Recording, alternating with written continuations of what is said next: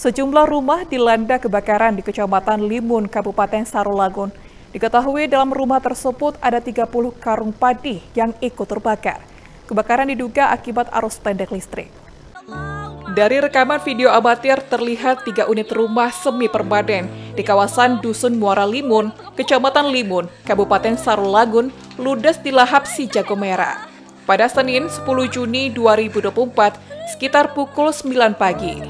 Akibat kebakaran tersebut, tiga rumah warga ludes terbakar beserta 30 karung padi yang berada di dalam rumah tersebut. Pihak Damkar, Polsek Limun, dan masyarakat berjibaku bahu-membahu berupaya memadamkan api.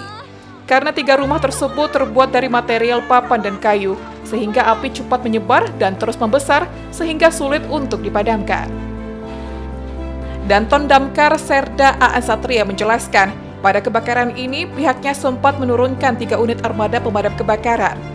Namun demikian, untuk pemilik rumah pada saat kebakaran sedang tidak berada di tempat, sehingga api sedikit terlambat untuk dipadamkan. Kami mendapat laporan pada 09 lewat 17 bahwa api sudah sangat membesar.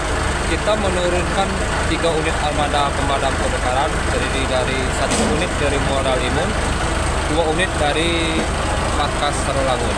Api berasal dari rumah Pak Anwar, kemudian merambat ke rumah Pak Ruk, kemudian menjilat rumah Fatmawati.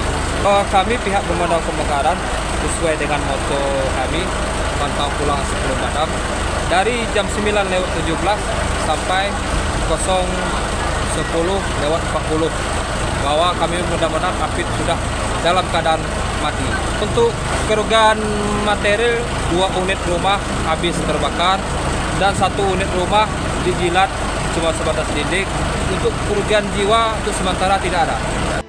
Beruntung dalam insiden ini tidak memakan korban jiwa, hanya saja mengalami kerugian material yang diperkirakan hingga ratusan juta rupiah. Bagas Setiawan, JEK TV melaporkan.